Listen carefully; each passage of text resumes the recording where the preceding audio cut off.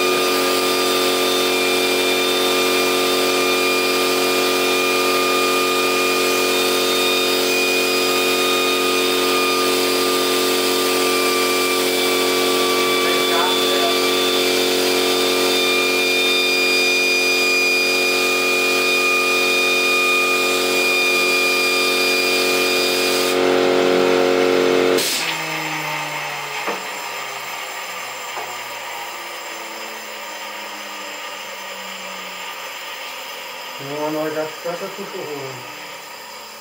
Ja. Könnte schon. Jetzt,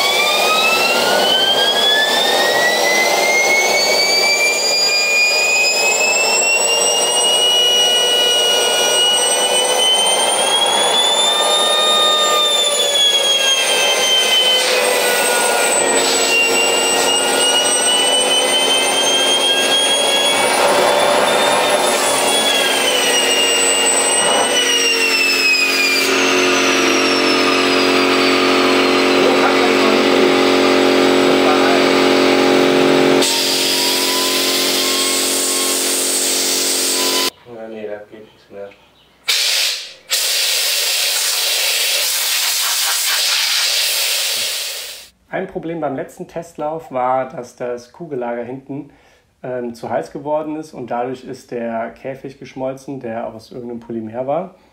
Deswegen hatte ich in der Zwischenzeit ein Kugellager besorgt, was käfiglos ist. Das ist jetzt hier leider unfreiwillig auseinandergebaut worden. Ähm, da erzähle ich euch später noch warum. Ähm, der Testlauf an sich habt ihr gesehen, dass auf der Druckanzeige auf Manometer sich nicht viel getan hat. Das heißt, wieder konnte kein Druck aufgebaut werden.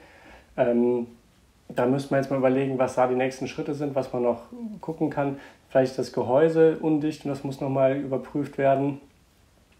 Am Ende vom Testlauf war es auch so, dass man das Triebwerk, die Welle gar nicht mehr wirklich drehen konnte. Ähm, da hat sich irgendwas ja, verkantet oder festgesetzt. Das hintere Kugellager war tatsächlich sehr, sehr fest im, im Wellentunnel drin, ähm, sodass man das gar nicht einfach rausnehmen konnte. Ähm, allerdings beim Zusammenbauen konnte man das Kugellager einfach reinschieben. Ich weiß nicht, ob das nur verkantet war, was ich mir nicht vorstellen kann, weil es ja der gleiche Sitz war, oder ob es da irgendwelche Mikroverschweißungen gab. Generell ist das alles ein bisschen merkwürdig, weil eigentlich sollte sich das Aluminium ja mehr ausdehnen als der Edelstahl vom Kugellager. Vielleicht liegt das auch an irgendwelchen Vibrationen, dass es dann da tatsächlich so zu Mikroverschweißungen kommt. Ich weiß nicht ähm, genau, welche Effekte das sein könnte.